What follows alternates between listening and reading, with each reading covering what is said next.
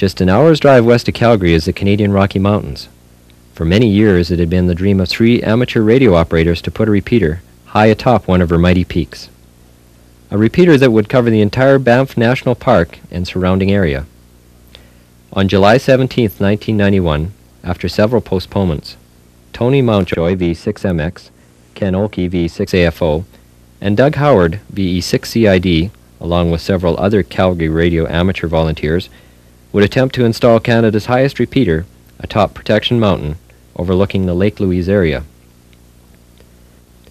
The following video will take you to that 9,700 foot mountain peak, to the site of VE6 HWY, a totally solar powered repeater located on 147.33 MHz. You will get a unique perspective of the coordination and teamwork necessary to tackle this job.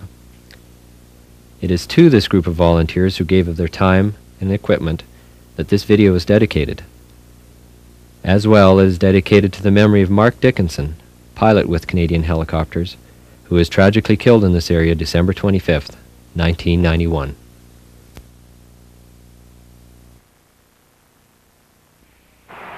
Yeah, we're all, we're all organisers of V16ZY. Um, hopefully this will be the, the, the right day. We've had two abortive attempts and we haven't made it out here because of the weather, the fog, the snow, the rain. But today we've got blue skies. Let's hope it bodes well for us. Um, V16ZY. Doug, uh, just kind of curious, do you know how many vehicles are going to be coming out here?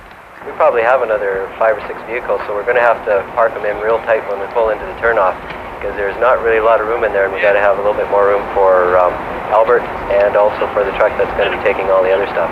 Yeah, that sounds like a, a good plan. So I'll just follow you, and as you pull in, I'll pull in behind you.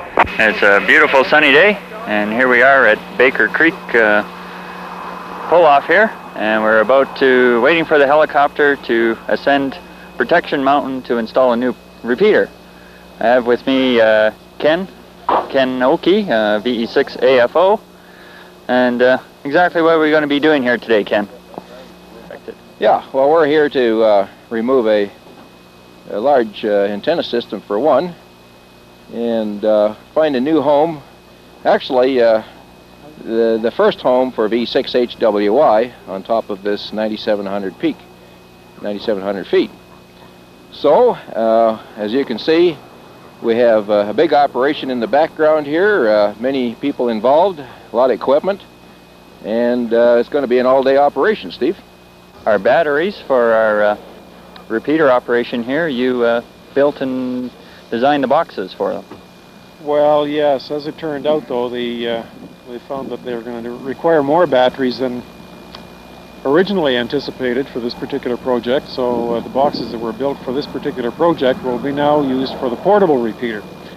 So, uh, as in good old uh, amateur uh, um, tradition, the uh, last-minute itis was brought to fore, and they, uh, they came up with an alternative method for the batteries that are required for this particular repeater. So there's an, you know a larger number of batteries that are taken up on the on the mountain for this project than uh, were originally anticipated. So well, it was nice to be part of the project anyway, and it's sure fun to be out here. In spite of the fact that we had to get up early in the morning, I wouldn't have missed this for anything.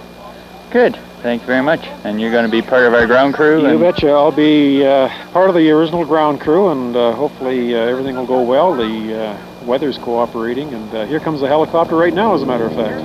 Oh, good. Uh, we'll just move over, and here comes our transportation now, which will be taking us to uh, the top of Protection Mountain.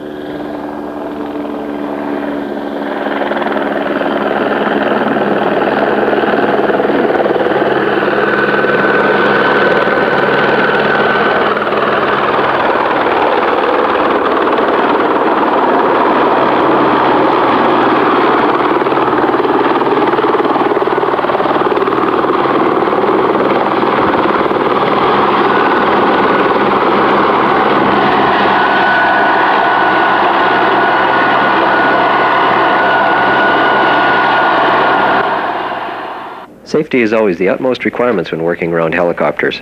In preparation for today's events, all team members took a helicopter safety course in Calgary one month previous. Canadian Helicopters pilot Bob Johnson takes an additional 10 minutes to once again rebrief everyone. E6SL, who uh, works for CFCN Television, and I guess is our official project coordinator. That's right, Steve. Looks like we're on a roll today. We finally got this little project off the ground. Taken, what, about four tries now? Four Wednesdays in a row we've been trying to do this. And uh, the weather is excellent. Looks like it's going to be a super day. Good. Uh, what are you doing on behalf of CFCN? I'm more or less looking after the, the whole project as far as the television side goes and coordinating the loads going up and down and the work to be done on top of the mountain and uh, in what order things are going to happen. Right now, what's happening is that uh, with the installation of a repeater, VHF repeater, for the Banff Park, is becoming a culmination of a lifetime dream to have a repeater system that'll cover the Banff National Park. So this is really quite a thrilling day, and with our location on Protection Mountain, we're sure that we're going to get the coverage that we're looking for.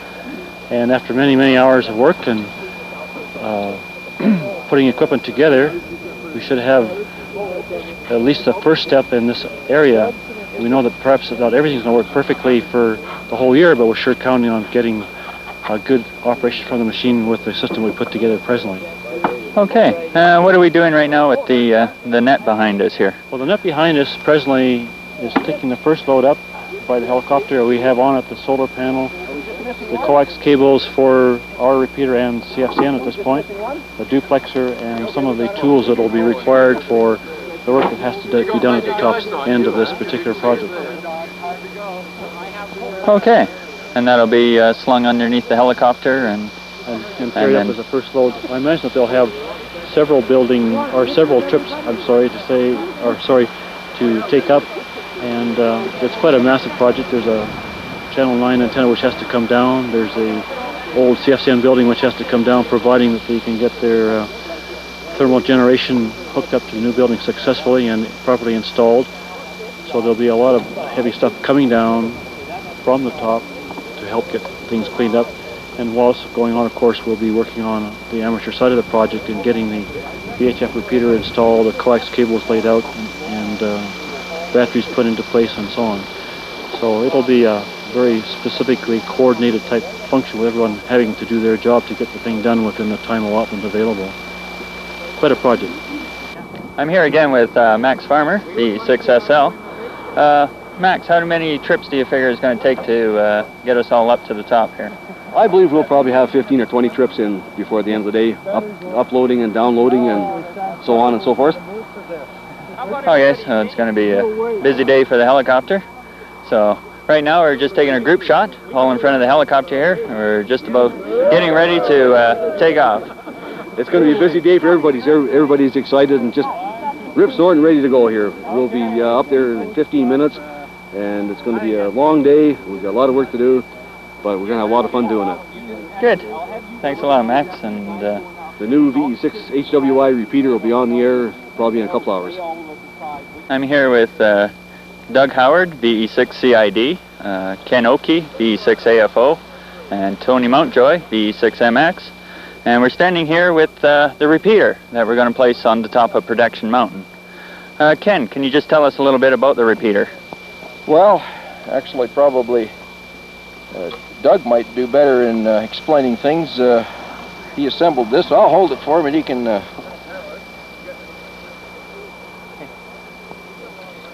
this here is the VHF uh, part of the system. It's the, it's the main receiver or transmitter, the bottom part here. We have a, a receiver built in a package here. Uh, the unit draws 104 milliamps, including the controller to run the power supply. On transmits, it's 3.465 uh, uh, amps, so it's uh, it's pretty low in the operations. During um, we have a, here we have a solar innovation controller which controls the solar cell, and it uh, turns off at 11.7. The whole unit will turn off if we run into trouble. Um, otherwise, if we should be a-okay, and the operating voltage will be 14.51 during normal conditions. Okay, Doug, what type of controller are we using with this package? We're using the SCOM controller. It's called the 5K. It contains many functions that can be programmed remotely, which we really need here. Yeah, for a mountaintop site. Yeah. Okay, and uh, how many batteries are we going to have up top to uh, supply power? We're, we're going to have six batteries containing 525 amp hours. Hopefully that will be enough to uh, operate the system year-round. Good. Thank you very much, gentlemen.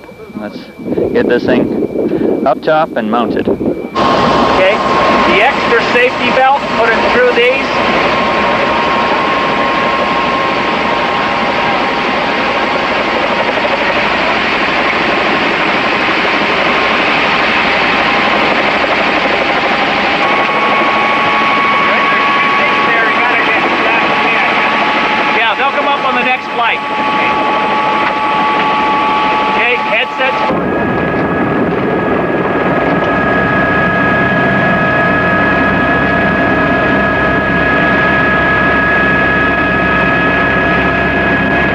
While you sit back and enjoy the approximately five-minute helicopter ride up Protection Mountain, here's a brief history on the repeater site. In 1967, as a centennial project, the newly formed Lake Louise Television Association, together with CFCN Television in Calgary, installed a 1-watt repeater site atop 9,700-foot Protection Mountain. At that time, caustic potash batteries were used and had to be changed every year in 1970, CFAC Television joined CFCN high atop this peak. 1978 saw CJAY-FM Calgary added, and in 1980 a new source of power, thermal electricity, was installed to power the three stations. In 1982, a second building was added to the mountaintop, this to house CBC and their 1-watt translator along with caustic potash batteries. Unfortunately, the site never proved to be reliable for CBC, and even after adding the 40-foot by 20-foot parabolic antenna, they could not quite squeeze in enough signal to give a good television picture in the Lake Louise area. It is because of this that they abandoned the site and gave the building and towers and antenna to the Lake Louise TV Association. This is how CARA, the Calgary Amateur Radio Association, got involved. Today this group of amateur radio volunteers will be attempting to remove the old parabolic antenna system left behind by CBC, thus saving the Lake Louise Television Association thousands of dollars in antenna removal costs. In return, CARA will be given space to house the new VHF repeater in the old CBC building, along with CFCN Television, CJAY-FM, and 2 and 7 Calgary Television.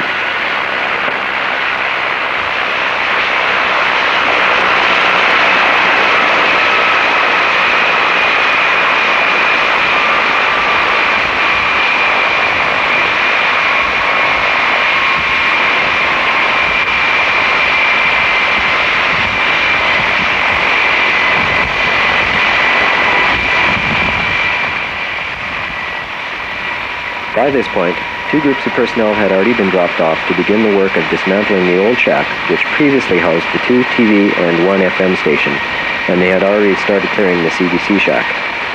In order to maximize the use of helicopter flying time, as soon as each new group of personnel and equipment was dropped off, the helicopter was loaded with old equipment and garbage to be taken back down to the staging area.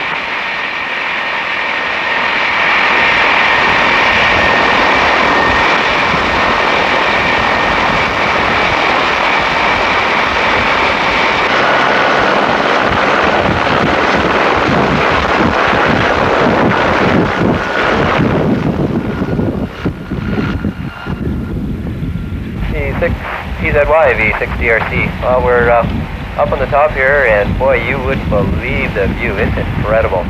Uh, imagine Doug will probably have something to say about that too, but uh, I'm going to have to kind of keep it short because we got a pretty big load ahead of us here. We got to start cleaning up the place. V6DRC, V6TZY. Well, I've got the binoculars on you, and I can just see people at the top of the tower. But other than that, the rest of it is left to our imagination. Uh, are you about, Doug, to tell us what it's like? V6, CID, V6, TZY. Yeah, it's just unreal. Well, I'm just here inside the shack, uh, just peering out through the door, working on the machine here inside. And, um, it's pretty awesome. V6 uh, TZY, V6 CID. Got, kind of got to get back to work. You want the other one too?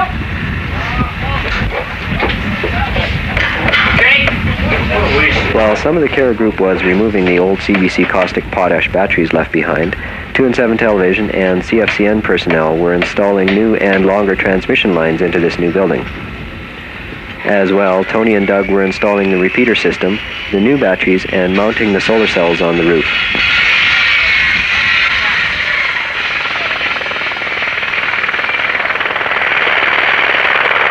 After all personnel had been taken to the top, the pilot could start taking loads up and down the mountain in nets slung beneath the helicopter.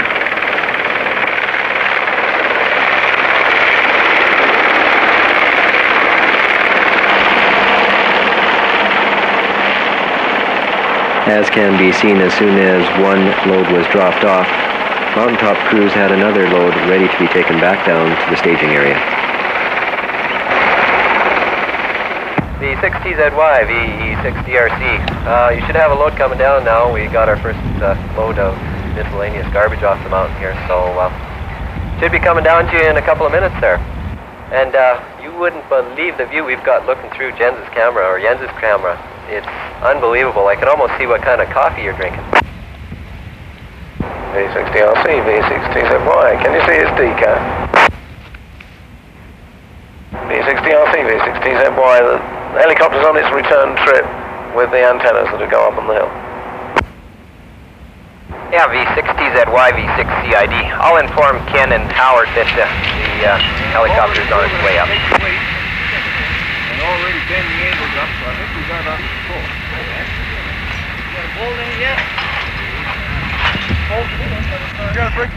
Everybody hold on to your hats. Here he comes now. And uh, Ken, Howard, you guys hold on to your hats too.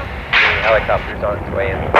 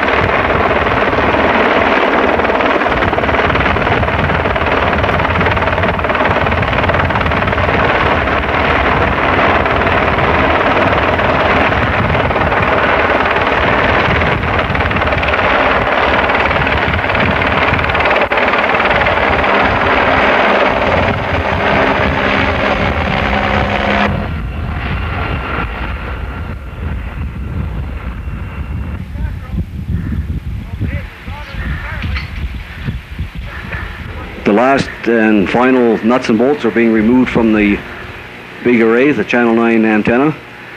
Ken and Howard are just about ready to start lowering the antenna down, the old CBC receive antenna. CBC started out originally using Sinclair Yagi antennas and found they did not pick up enough signal for what they were trying to do and switched over to the uh, parabolic receive antenna. This antenna is about 20 feet by 40 feet and as you can see one section is about to be lowered now.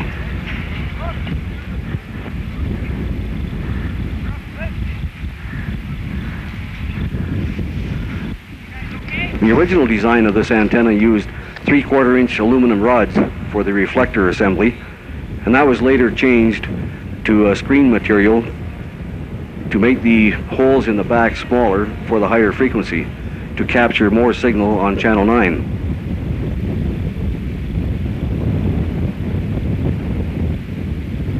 The antenna itself had six dipoles, and this was not enough to capture approximately 400 to 1,000 microvolts needed for a good strong television signal. So the decision was made by the CBC to abandon the site and later relocate their transmission facilities in the town of Lake Louise.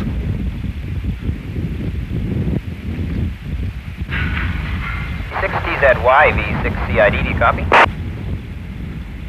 Go ahead, Doug. V60ZY.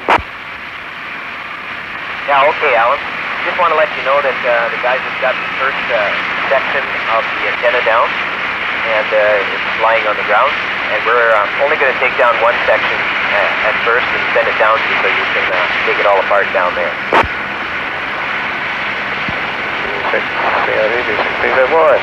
We've got a problem. You were going to take it down at the top. You've got all the tools. I suppose we'll manage somehow, but I dread to think what we're going to do. But we've no choice, have we? V6TZY.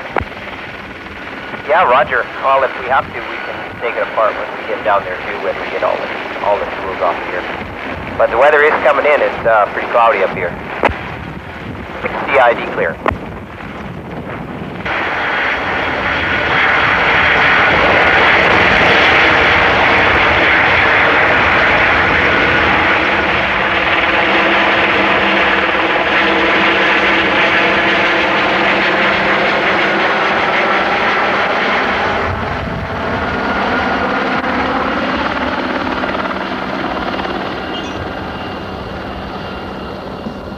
I'm here with uh, Alan Faint, VE6TZY.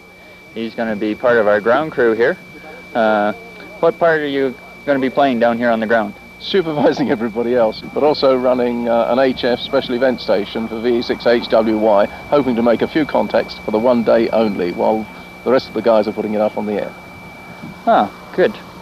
And uh, and your your wife Marlene, I she's going to be our uh, footprint person who's going to uh, map out the coverage area for us. That's right. There are a lot of people know about it, and as soon as it's activated, people will be working through it and letting us know where they are, so that she can mark it out on the map so we can get some idea. It's going to be months before we really know what the coverage is. Okay. Thank you very much. Uh, 6 TZY, 6 DRC. Uh, just for your information here, uh, we got both antennas down, and Howard and Ken are just trying to get down the I-beams right now. And uh, as far as I can tell, it looks like the solar cells are just about installed. Doug and Tony are just about got them put up. And uh, we should be on the air pretty soon. 6 TZY, 6 DRC. V6 DLC, V6 TZY. It looks a bit murky up there from down here. We can't see anything. What in fact is happening to the weather? Funny you should mention that. It's actually turned into a blizzard here. Over the last maybe 15 or 20 minutes, it's been beautiful sunshine. It's been snowy. It's back to sunshine. Now it's snowing again. And I bet you there's probably about a 50 or 60 kilometer an hour wind bringing that snow in. Boy, it's just rotten. Okay, I won't keep you from it. V6 DLC, V6 TZY. Yeah! Need a hand over here again.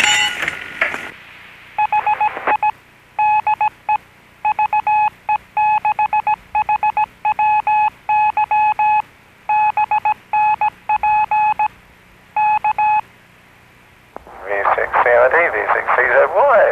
Was that an ID I heard? Yeah, Roger. We're finally on the air. Uh, we're just barely making it, though. The weather is pretty, pretty bad. Uh, you just wouldn't believe how bad it is. I think we may have abandon the project. V6CID, V6GN, I can hear you in Calgary. Oh, wow. Uh, did you hear that, uh, Alan? Uh, we got Arnie in there.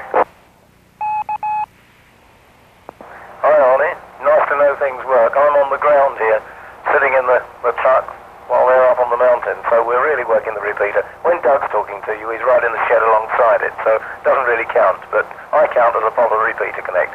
V6GN, V6TZY. V6DZY, V6GN, how do you copy me? I'm transmitting with 10 watts and a conical disc antenna 10 feet off the ground. V6GN, V6TZY. No problem at all, Arnie. I'm just hoping it's as good from other parts of Calgary, but that's something we're going to find out when we get back home. Anyway, the helicopter's on the move again, so thanks for the contact. V6GN, V6TZY. V6TZY, VE6DRC.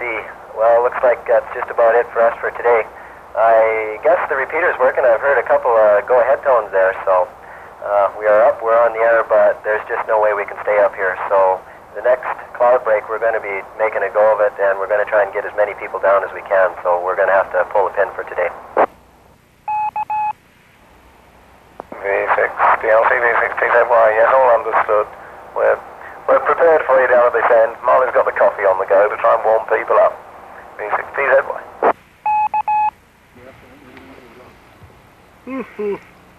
I'm just pooped. You pooped? Yeah. Well, it was a long day up there. It's been a long day, yes. V6TZY, V6CID.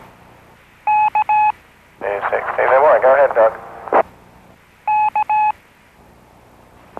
What a beautiful day up here. You wouldn't believe it. I'll just uh, see it. I got the new antenna all up. Uh, so we're just wondering if you could uh, give a call to someone in Calgary and see if anybody's around there, Alan. I'll pass it back to you. This is V6TZY. Is there anybody in Calgary can give us a signal report on the uh, equipment again today? V6TZY. V6TZY, V6GN in Calgary. How do you copy, uh, Alan? Oh, that's full quieting now. It's uh, as good as it was last week, if not a little bit better. And it's a beautiful day up here, and by all accounts, it's much the same up on the top of the hill. We, we're basking in the sun, getting lovely and brown. It really is beautiful. V6TZY. And this is fantastic. Uh, the repeater coming in so well into Calgary today, it, it really opens up a window into the Banff area. This is terrific. Over. V6GN, V6DRC, uh, believe what it's like up here this time around. It's an unbelievable view. And just for posterity's sake here, I've got Howard's camera and I'm going to be taking a shot of the footprints that we ended up making in the snow on the way down when we ended up having to walk down part of the mountain because it was all snowed in. We couldn't get the helicopter to come and pick us up, so we had to hike down over the edge of the mountain. The six GN V6DRC. V6DRC, V6GN. Well, uh, I guess you fellows had uh, uh, quite a scary episode uh, uh, coming down, so you'll probably be uh, reciting that to your grandchildren in, in years to come. Well, it's been a successful expedition in the end. We had our doubts last week, but this week has proved that it's all okay. V6TZY.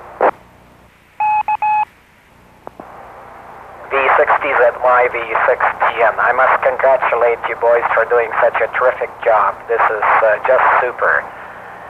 73s, and we'll see you. V6TZY. The only disappointing thing was that we didn't manage to make any HF contacts with our special event station. This is V6TZY on V6HWY closing down. Just wondering, uh, do you know if Steve wants his lunch? Uh, we just found it. It's been up here for three weeks. V6CID clear.